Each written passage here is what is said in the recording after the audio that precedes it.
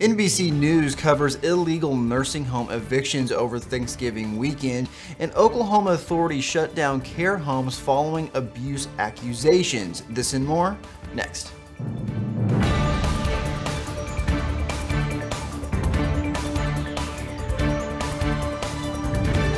You're watching LTC News with Dane Henning.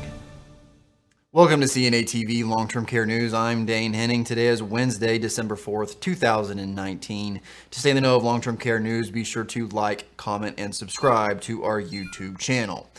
NBC News released a story that some nursing facilities illegally evict residents when funding runs out, among other reasons, during the long holiday weekend.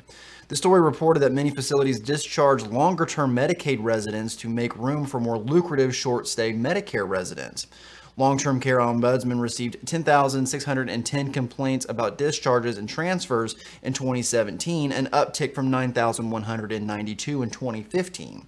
And that the ombudsman, whose work is federally mandated and state funded, received more complaints about discharges and transfers than any other grievance. The news outlet cited an example of a facility in Bishop, California that discharged a resident who was receiving who was recovering from back surgery when her Medicare coverage ended, even though she was not yet healed.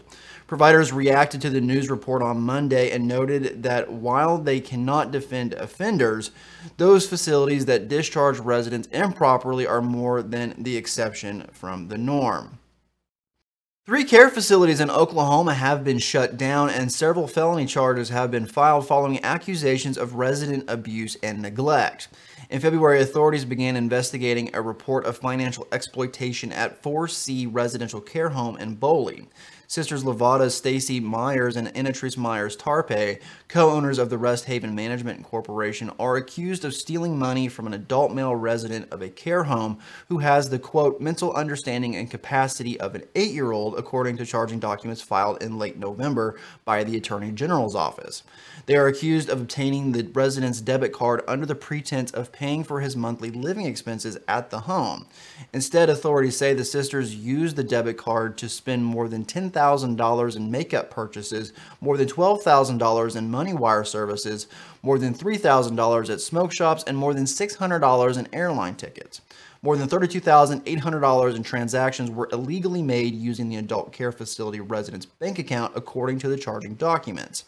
The sisters each face four counts of financial neglect by a caretaker, one count of conspiracy to commit financial neglect by a caretaker, one count of fraudulently obtaining personal identity of other persons, one count of using access to computers to violate Oklahoma statutes, and one count of engaging in a pattern of criminal offenses in two or more counties. Authorities say they operated two unlicensed facilities and one licensed facility. This has been your long term care news update. Everyone, have a wonderful week, and I'll see you on Wednesday.